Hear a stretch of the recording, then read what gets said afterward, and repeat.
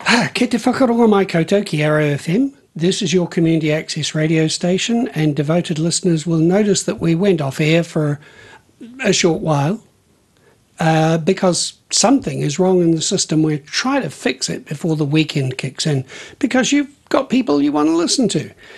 It's all right at the moment, obviously, because I'm on air, but I had to do some jiggery pokery to make that happen. Um, Marina's going to phone in because we'll be testing the video link for those who are watching on the telly. Um, but because this is the second time this thing has fallen over in the last day, um, just want to be super safe before we, well, before we get into the weekend, as I say. All right, so I'm, oh, there's Marina. Lovely to hear your voice. Let's, uh, and there she is.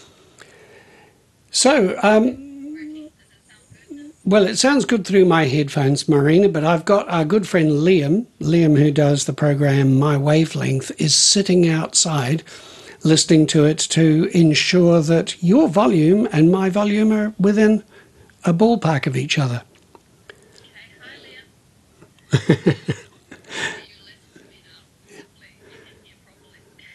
One hopes so. Yeah. All right. Well, look, there you are. You sound great in my headphones.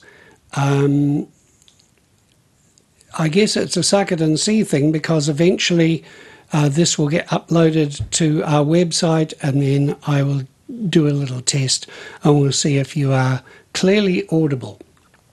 All right. Thank you very much, Marina. Have a few words before you go so that we can just have more of your voice to test.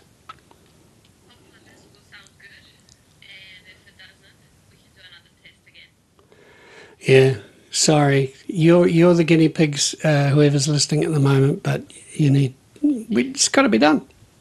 Thank you very much, Marina. See you later. All right, she's off, and hey, I'm off.